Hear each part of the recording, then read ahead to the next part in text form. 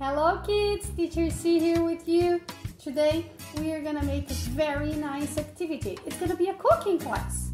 It's gonna be something for you to eat in your snack time today. Good? So, for this cooking class, we're gonna need a bowl, spoons, sugar, and we're gonna need grapes, grapes. We're gonna need orange,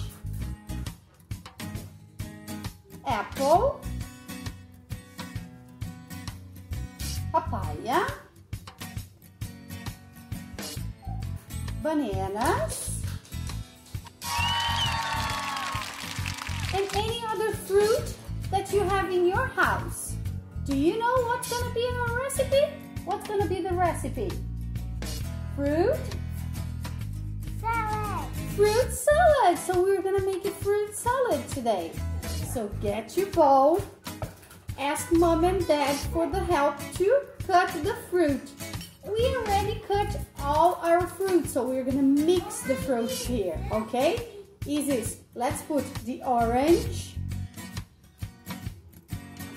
So you can see the orange. Go, go, go. Bananas and papaya. Look at the colors, how beautiful. Now we can put the grapes, the apple. Very good, very good, very good. All the fruit in the bowl. So here you can see we have all the fruit cut in little pieces. Now we're gonna squeeze a little orange to make some juice. The orange. Squeeze the orange. Squeeze this little orange. And to make a little more juice, we're gonna add some sugar. So get a spoon and get the sugar.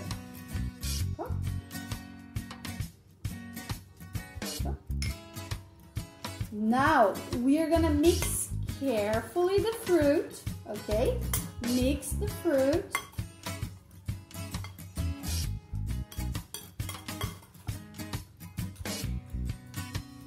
Mix the fruit. Look how beautiful our fruit salad.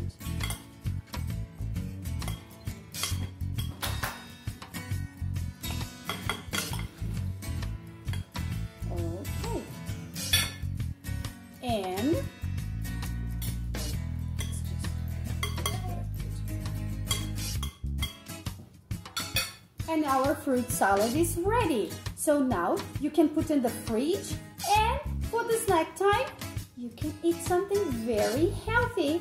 Good. Hope you like it. Bye-bye.